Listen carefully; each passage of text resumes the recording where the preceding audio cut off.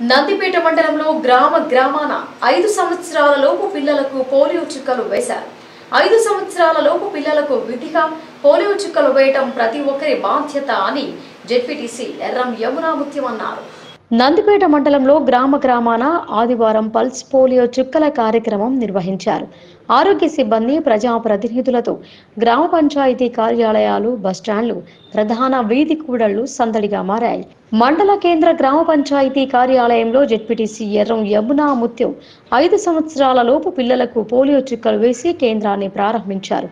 ఈ సందర్భంగా జెడ్పీటీసీ యమునా మాట్లాడుతూ ఐదు సంవత్సరాల లోపు చిన్న పిల్లలకు పోలియో చుక్కల మందు వేయించాలని ప్రతి ఒక్కరూ పోలియో నిర్మూలనకు భాగస్వాములు కావాలని పోలియో రహిత రాష్ట్రంగా చేయాలని రాష్ట్ర ప్రభుత్వం ఎక్కడికక్కడ ప్రజలకు అందుబాటులో పోలియో చిక్కలు వేయటం జరుగుతోందని గుర్తు చేశారు. ఈ కార్యక్రమంలో కొత్తూరు భరత్ వార్డు మెంబర్ గంధం సాయిలు టిఆర్ఎస్ నాయకులు నాని సలీం నర్సాగౌడ్ దుబాయ్ చీను ఏచాల చిన్నయ్య తదితరులు పాల్గొన్నారు.